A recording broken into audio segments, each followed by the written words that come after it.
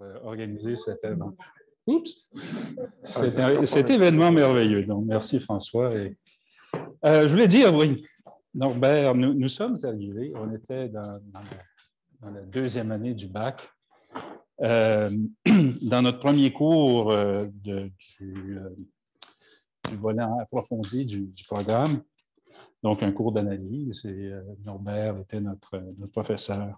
Et c'était vraiment une révélation, d'abord par la qualité du cours qui était absolument étonnant, euh, mais aussi par cette espèce d'ouverture d'une perspective euh, sur le monde mathématique qui dépassait beaucoup les, frontières de notre université et aussi, aussi de, des mathématiques comme entreprise humaine. Donc, il y avait des gens qui les faisaient, puis en parlaient. Puis c'était une liste peut-être, mais c'était une liste très intéressante. Et puis, euh, donc, un, sentiment d'appartenir, euh, d'entrer dans une, dans une communauté. Euh, il s'est beaucoup occupé de notre, notre carrière à tous. Et puis, je, suis, je, sûr qu'on a tous de, très bons souvenirs de cette époque. Et de plus tard, qui a continué de nous, de nous suivre, nous, nous, euh, euh, a. Euh, je suis peut-être de, tout le groupe le, celui qui leur. Pardon? Ah oui, c'est vrai, on est tellement l'habitude que vous mon mais vous ne me comprenez pas. OK. Alors, c'est peut-être moi qui est, le, plus, le plus redevable à Norbert et à Dana parce qu'il ils étaient à sabbatique à Oxford ma, première année. Et euh, c'était une tradition, pas, un petit peu dure par moment, parce que on, passe à un autre niveau. On est euh, peut-être, euh, on, plus dans la norme que, l'exception. Et puis, disons, les, les deux m'ont beaucoup aidé et encouragé pendant cette année-là à faire le passage. C'est sûr que ton, euh, ton collègue, c'est Donaldson. Oui, oui, il y en avait deux, Donaldson et Francis Kerwin. Alors, maintenant, Sir Simon et Dame Francis. Alors, donc, euh, euh, tous les deux fort sympathiques d'ailleurs. donc, c'est ça, je cherchais quelque chose à, présenter. et puis, j'essayais quelque chose qui, peut-être donne une, une, sorte de continuité. À partir de ce moment-là, et qui, qui en fait continue jusqu'à euh, jusqu'à tout récemment.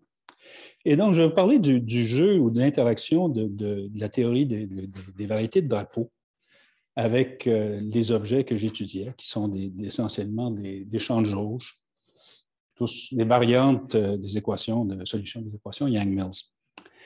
Donc, mais je vais commencer avec les choses de l'époque and, and maybe I'll just switch to English. Um, so monopoles in R3.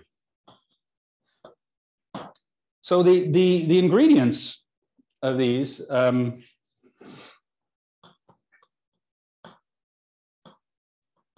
um, well, the first thing is there's a, there's a vector bundle, which because we're on R3 is just trivial. And I'll be talking for, for things associated to SUN or UN. Um, so um, just a vector bundle over R3. Uh, it'll be equipped with a connection. Yes, a Hermitian metric. Yeah. Um, so it's a, uh, a way of taking a covariant derivative and you sort of package all of these derivatives together, taking all derivatives in all directions at once, and you can split off the um, components have directional derivatives. Um, the third is a section, which will be a skew Hermitian section, but um,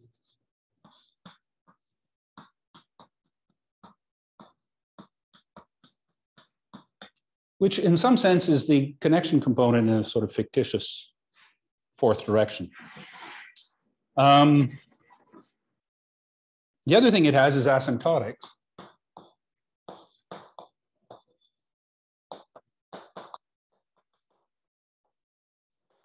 So the connection is asymptotically flat, just the ordinary derivative, basically. And um, this Higgs field, phi, is.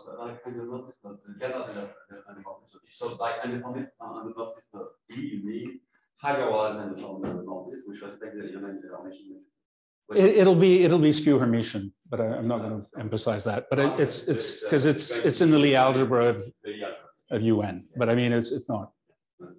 This will do. Um, so the asymptotics are that I is diagonalizable, and um, it has sort of quantities which are in physics speaks thought of as masses. And um,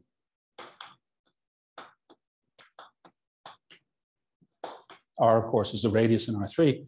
And these things, which turn out to be integers, that's, that's forced by the equations, which is the fifth ingredient. Um,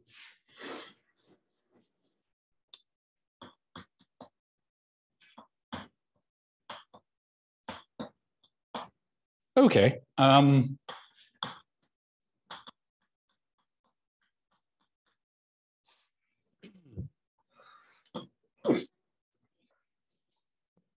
and um, so you could you could write it in components as uh, dx of phi is the commutator of dy and dz. And then you can just permute cyclically. Or you can write it and encode it in a sort of complex version, which has the dx minus i phi. And there are probably signs that are wrong, but I'm asking for indulgence.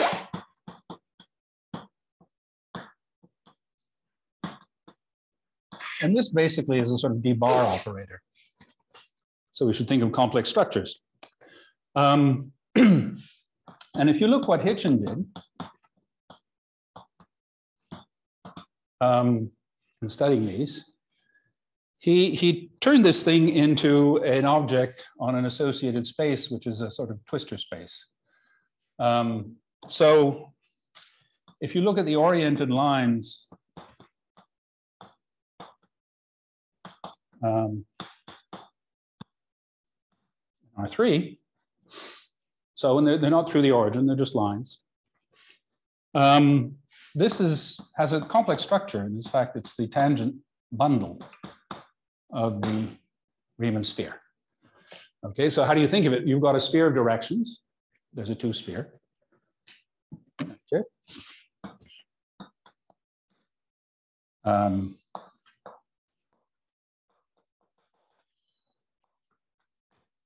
directions, and it's got a, uh, for each direction, you've got a plane.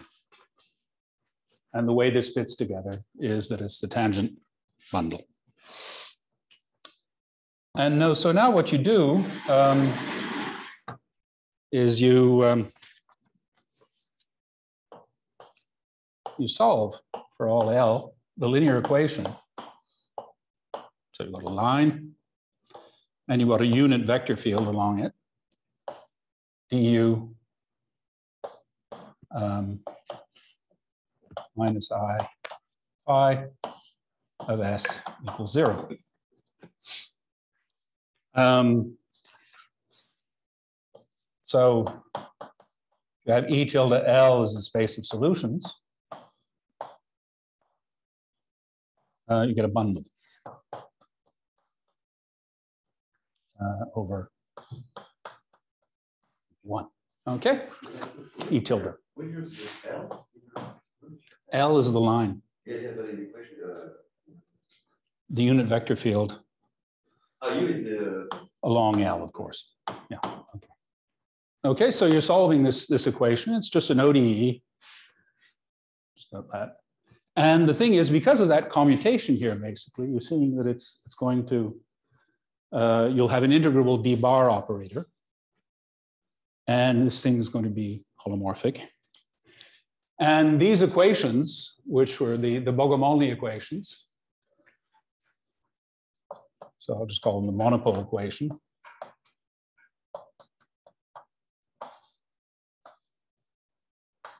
For nabla, um, well, for E nabla phi, get encoded, and there's a way of getting it back. It's sort of a geometric construction, uh, but it's the uh, Cauchy-Riemann or holomorphic structure.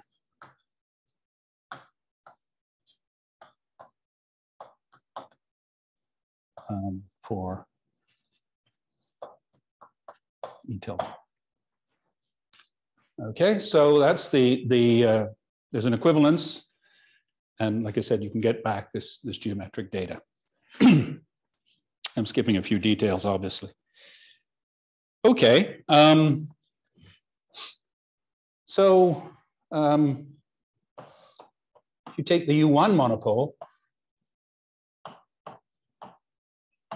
where now um, nabla is just the ordinary D, and phi is just I, that's all you got. Um, you get a line bundle um, L on TP1. And it's an interesting line bundle. It's, it's extremely non-algebraic. That's a technical term, uh, which means that it, it, no matter how many poles and things you'd allow, it never has any sections. It's a fundamentally transcendent object. Um, and um, well, what about the next, the next group up? So Hitchin looked at SU2.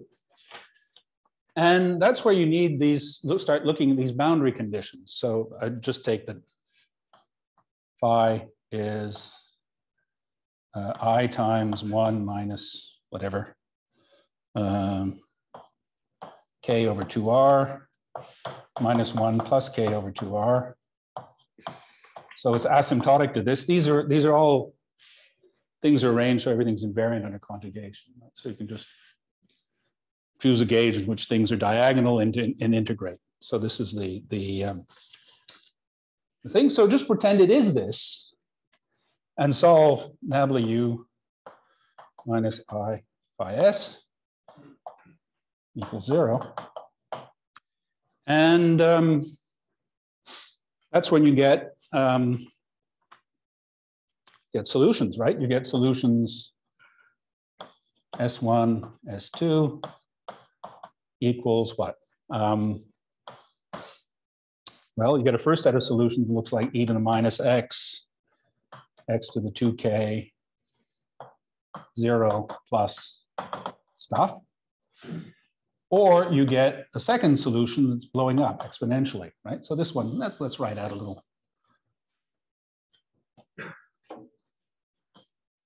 So this one is, if you draw its graph, it's sort of going down to zero. And the next one, oops, eraser, eraser. Behind the laptop. Behind the laptop. Oh, that's clever. Okay, good, thanks. Um, and the next one, the other one, is, is going to blow up, right? So S1's behaving like this, and S2 is blowing up. However, as I remember Hitchin pointing out to me at the time, uh, a line has two ends. And so you get a second solution.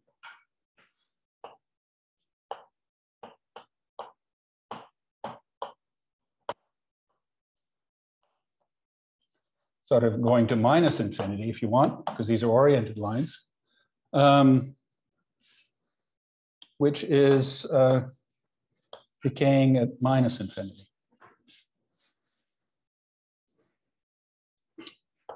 So um, most solutions to this uh, will blow up.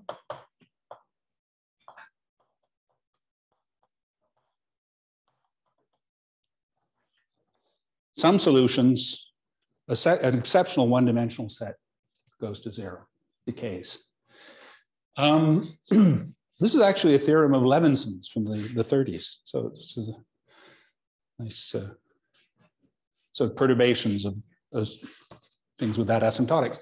Now, you've got two ends. And so what this gives you for your, your geometry, if you've got your bundle E tilde, and you have a two subbundles. And Hitchin identifies them in notation that I, I probably don't want to go into, but one is basically some sort of twist of this, this uh, bundle L, and that's the plus infinity. This is the minus infinity. And they're two quotients. So let's call this um, E tilde 1 plus E tilde 1 minus, because they're rank 1 and these are the directions. E tilde 1 plus and E mod E tilde 1 minus. Okay, so you've got this, this sort of picture of, of this thing is, is a, it's an extension of bundles, line, two bundle, line, line, two bundle, line, in two different ways. And generically, don't forget, you've got this sort of lump of charge in the middle of the R3. And so generically, and especially if you go out to infinity, where this thing is actually behaving very much like this, the two, these two decaying things are transverse. So you've got one line, the other line, and so on most of TP1, this, these, these two pictures are, are transverse. The, the, the E tilde is basically a sum of lines. And they coincide, tilde one. Um, so they're generically transverse.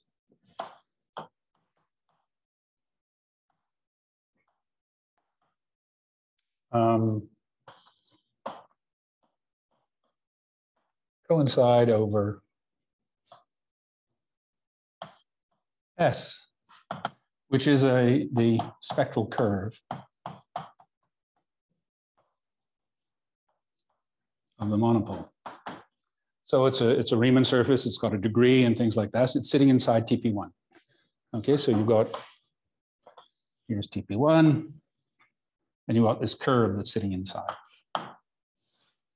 Okay, and then so Hitchin was able to show a whole bunch of things to this about these things, and he uh, showed how this also encoded through another transform that directly from the monopole involves looking at solutions to the Dirac equation in the background of the monopole and computing an index bundle, and you get these, these equations. I'll come back to them later but anyway, he was able to sort of derive a whole bunch of properties. And so as a dutiful student, I was, I was working my way through this. Um, and sort of rewrote it. And it's it looks trivial, and I thought so at the time, except it, it did help with calculations, but it turned out to be a, a good idea. So you can rewrite E tilde.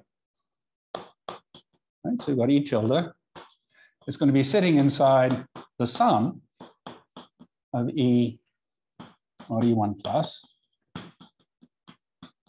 on E1 minus. And there's going to be a quotient, which is E mod E1 plus, um, which is going to be equal to E mod E1 minus over the spectral curve. Okay, so what is this telling you? It's telling you these, you've got these two standard things here. They're completely fixed. And they're determined by the asymptotics of the monopole, both the K and the line bundle L. You've got a spectral curve, which is a geometric object.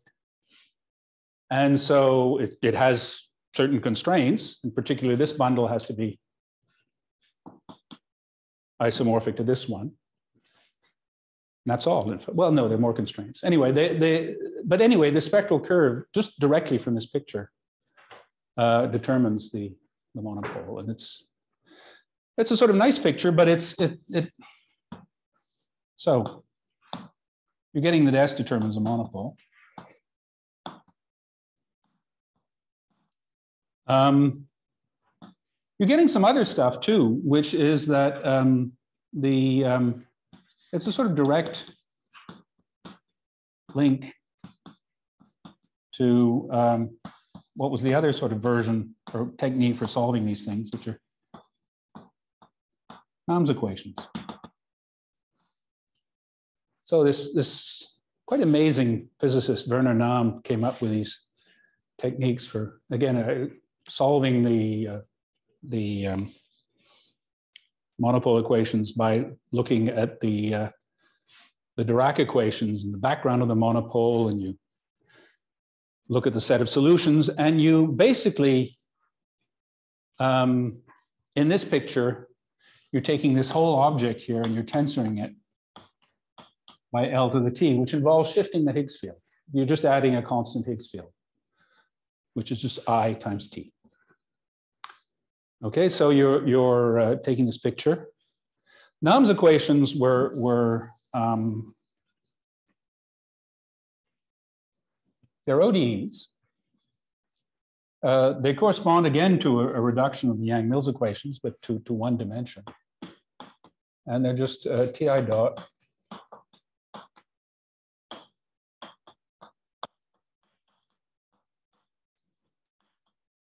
Okay.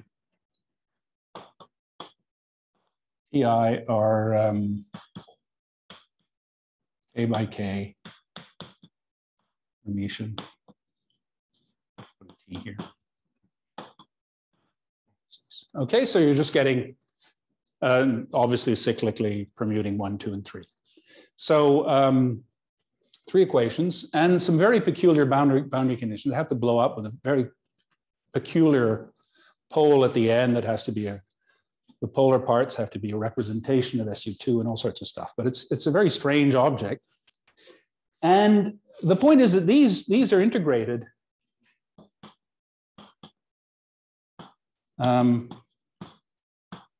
from this uh, by Krichever's method. So that was another thing that was very popular at the time, uh, showing that flows of line bundles on a, on a Riemann surface gave you uh, solutions to these, to various ODEs, but these included. and it turns out that if you write things in this way, you get a very clear uh, picture of both the Nahm solutions and their boundary behavior, which was a, a rather mysterious thing. And the reason basically is that when you're shifting by LT, remember I said these bundles over TP1, over the curve, they're fine, but over TP1, they're, they're highly non-algebraic. But when you shift uh, this by minus t, so minus one, uh, this becomes OK, which is the bundle lifted from P1. It's, it's totally algebraic. It has sections, has everything. So all of a sudden, your, your solutions, your, your set of sections here, whoop, blows up, fills the space, and that imposes strong constraints on the boundary behavior of your flows, and you're done. But it also, and this is perhaps most pertinent, also gives you a good picture on moduli. Okay. So a few years later, Donaldson showed that the, uh, the moduli are basically uh, rational maps, so holomorphic maps from the Riemann sphere to itself. He does this by analyzing Nahm's equation, and basically, like all the, the uh, a lot of rather the the Yang Mills picture on on manifolds that are well hyperkähler, but have so have three complex structures basically. So R4, um, and here it's R3, but there's this extra shadow R R that's sort of sitting there. All of these things, um, the equation split into a sort of complex holomorphic bit, which solutions to which determine the modulus. It tells you which solution you got. It tells you nothing about the solution, but it tells you which solution you've got. And then you have to solve, typically by some variational method, a third equation, which will tell you, yeah, you've got a solution. Uh, but again, um,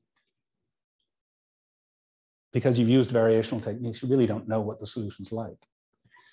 Um, so you've got this complex solution where things are very easy to describe. You know it determines a solution uniquely. And um, it, uh, it completes to a, a you know it, it completes, it has to, to a full solution, but you don't know how. But you can still describe the moduli. And it turns out that in this picture, there's a very nice sort of picture. So you've got P1 that's sitting here, and you've got TP1 sitting above it. you choose a. And remember, I said that this P1 of directions is basically secretly complex structures. Well, you choose a fiber of TP1 over P1. So this is, in R3, it's a plane. You're choosing a direction. So you've got your spectral curve sitting here. And over the, the uh, this over this, this uh, base, over this line rather, you can, you're able to write um, E is just the trivial bundle, so it's the fiber F, F cross C2. And you can normalize the minus fiber to F cross, I don't know, say zero cross C. So it's sitting there as the second coordinate in this, this bundle. So this is the minus. And then E1 plus is the, um, what is it? Well, it's the, um, it's a moving line in C2. Okay, so we've got this bundle here. you've got a sub bundle. As you're moving along the fiber, it's changing position. Okay, and if you projectivize, you think of these points of the intersection. Um,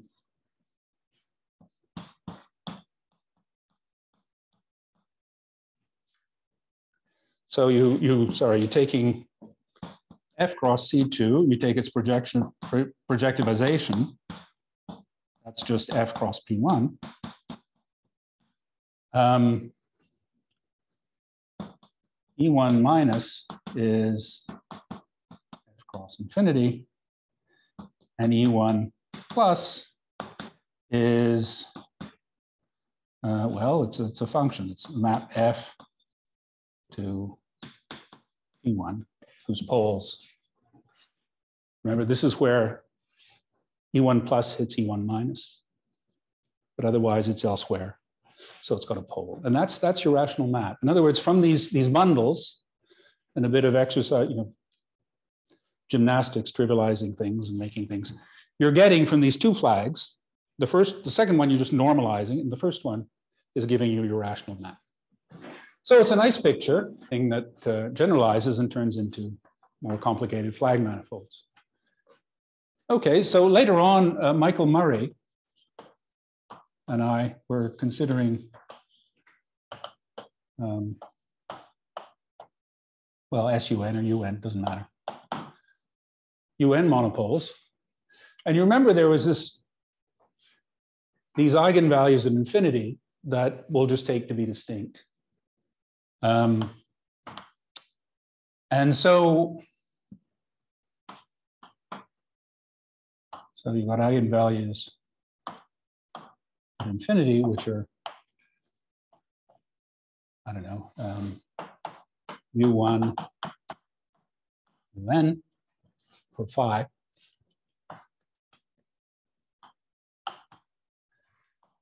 Imply, what do you get? Well, you get n decay rates.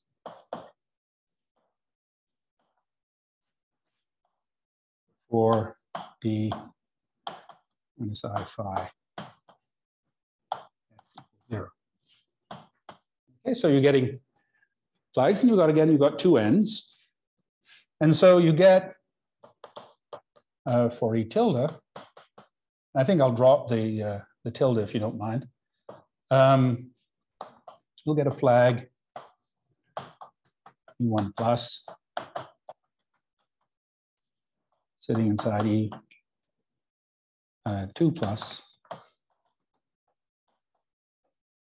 n plus. So E1 is the thing that decay fastest at a given exponential rate, say mu1. E2, well, it's the, the next rate over mu2, but as it's decaying less fast, E1 is sitting inside it, and so on. You get flags like this, and at the other end,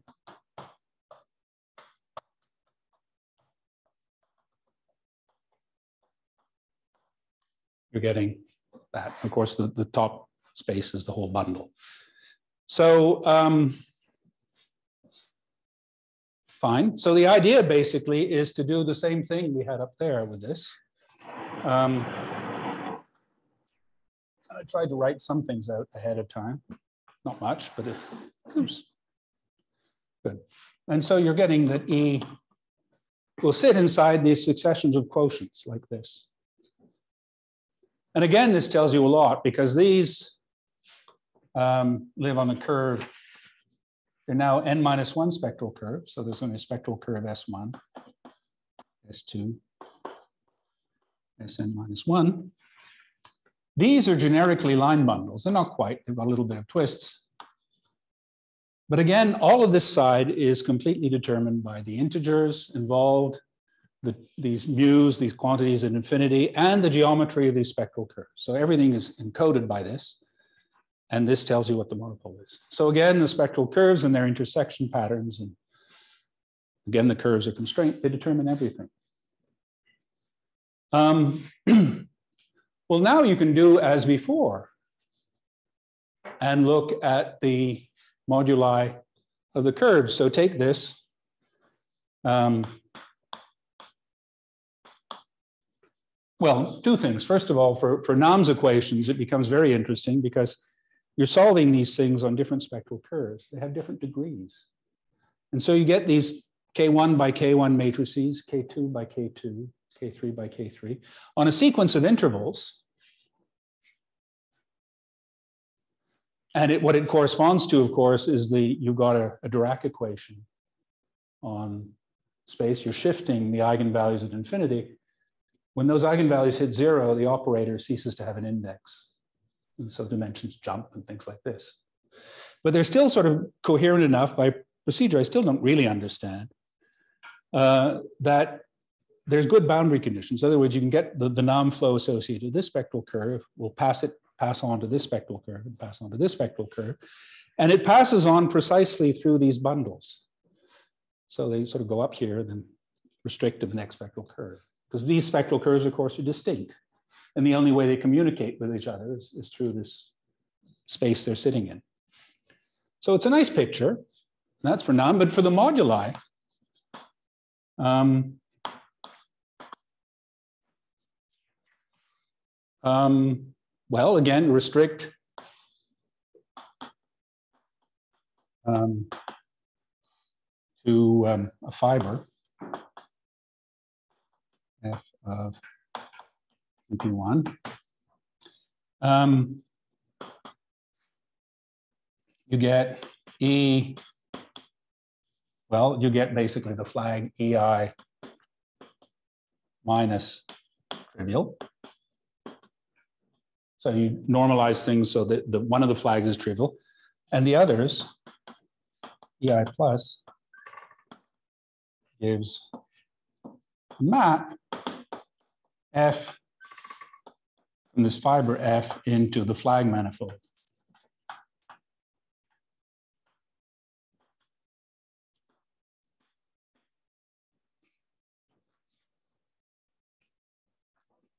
And um, so again, these, these flags, um, and the theorem, of course, is these, these, these, this determines the modulus. So the moduli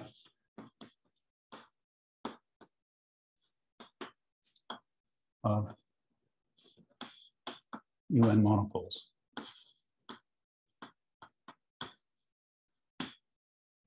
Okay, so you're getting the, the moduli space just from this, these flags. And again, the picture is that the, the restriction to the fiber gives you the, tells you what this, tells you, you there's one solution corresponding to this. Getting to the other is a variational process. We had to go through the, the, um, the solution to Nahm's equations and analyze the flows and things like that. There's a student of Donaldson's in the 90s who did this directly. It's a beautiful thesis. I think he became a banker, which is sort of sad. anyway, so that's the, the picture for uh,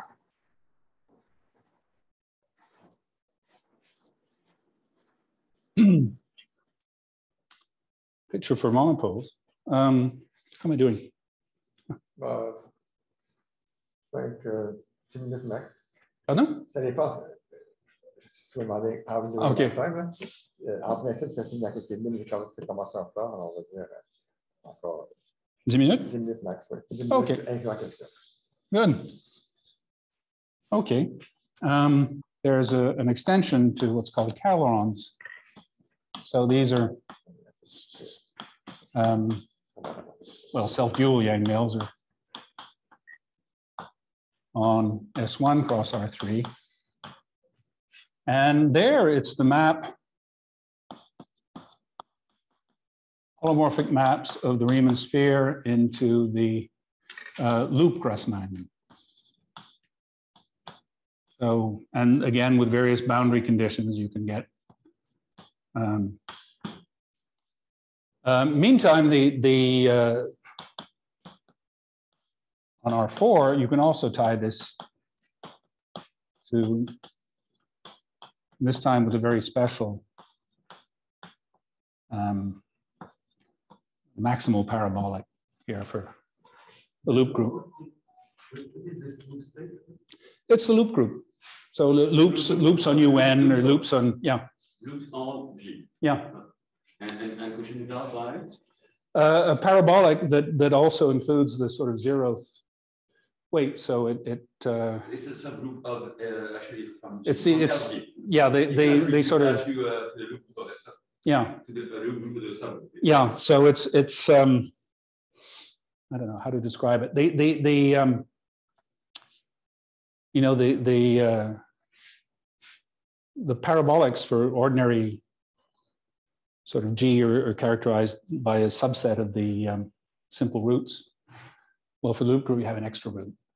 And third one. you have an extra, extra simple root, basically, and that, that one's sort of added to it. Um, so it was the, the extended Dynkin diagrams of this morning were really for these, these affine things. Yeah. So um, this is the, the, uh, the original instantons.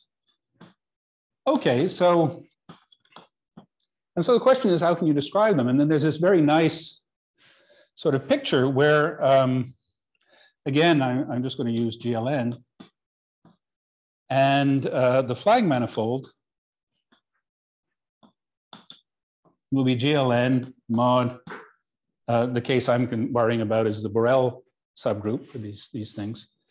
Um, so the Borel uh, subgroup is what? Well, it's the set of matrices that are upper triangular for the one for this particular case. And because this fixes, it's a homogeneous flag, all flags, GLN maps any flag to any flag. This stabilizes one of them, and so you can write it as a quotient. And so um, you've got the sort of opposite nilpotent, unipotent group, um, which has ones on the diagonal and stuff below, with zero above. And this acts on this, and it acts, its orbits divide the, the flag manifold into nice cells. There's one big cell, and then there's some codimension one cells at infinity. And so, um, and um, so there's a big cell at infinity. And so you can think of a map, holomorphic map into G mod B as a meromorphic map into N. Okay, so you got a map here, and it's going around this, and this is the image of the map. Now its poles will be where it hits these cells at infinity.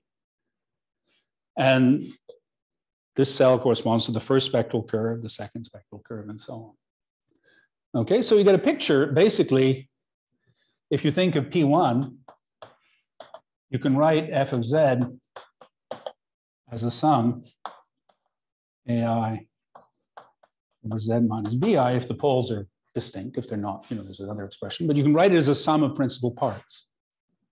And this means that you can describe the same picture here. You can describe a map into the flag manifold by giving a configuration of principal parts. You say where in the in the Riemann sphere they land, and you say, well, you pres prescribe essentially the residue at each of these points. So it's, it's a more complicated picture. Of course, you can meet both strata at once and so on, but it's, it's still a sort of similar idea. Now, this has a very nice consequence. It basically tells you a lot about the topology because your, your space of maps, so your spaces of instantons, your calorons, the whole batch, basically get described as configurations of labeled particles in the plane. And well, maybe another link to Norbert, a very nice 1960s topology. Uh, May, Milgram, a whole bunch of other people um, developed the, the tools for handling these things. There's an enormous algebra, and there's basically saying that if you're going to describe a cycle in dimension k, you need at most two k points. And it's sort of logical because the first thing you might do is to take two poles and have them turn around each other. That gives you a circle. Well, that one turns out to be trivial in this case, but in any case, you're seeing there's a sort of an accountancy of points, and what it means is the topology of these spaces of configured particles stabilize under adding a point, a labeled configuration. Add in one. And that gives you a, a way of seeing um, the stability of these moduli spaces, which was this Atiyah-Jones conjecture, which was the, the sort of story. So it's all amounts to label, but you do it for all of these things and it's essentially the same story. So there's this joke about a mathematician who somebody knows a trick and a great one knows two, but I have no pretensions to greatness, but I, I know one trick. And this is, this is, I've just given you my trick. Uh, it came to light recently also because a colleague in Arizona was looking at uh, instantons on a Taub-NUT manifold. And I thought, well, I should do it, but you can actually use this, this idea also. No, it's, it's Sergei Cherkis involved in all these sort of mysterious things like Coulomb branches. And, hmm? oh, I'm, I'm done. but yeah, I suppose cycling back to uh, topology. yeah, it was about time you shut me up. Anyway, the, the, uh, anyway, yeah, it's it's the monopole. The original Dirac monopole just has a, a singularity at the origin, basically in R three. Okay, yeah. And it's it's a simple expression. The the non-abelian gauge groups allow you for smooth solutions. And that was a, that was a bit of a surprise, basically.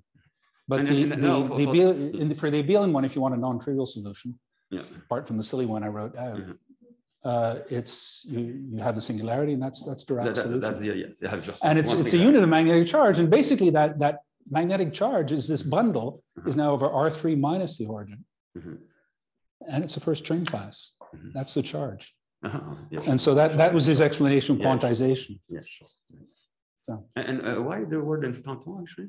There, there's a very hilarious thing. To there was a conference in the 1980s about monopoles, and Dirac was still alive, and they would you, would you like to come, Professor Dirac? And he said, well, no, I'm too old, etc. Like, and, and, in this very typical Dirac way, he said, uh, wish you good luck with all the conferences. By the way, I'm now inclined to believe that monopoles don't exist.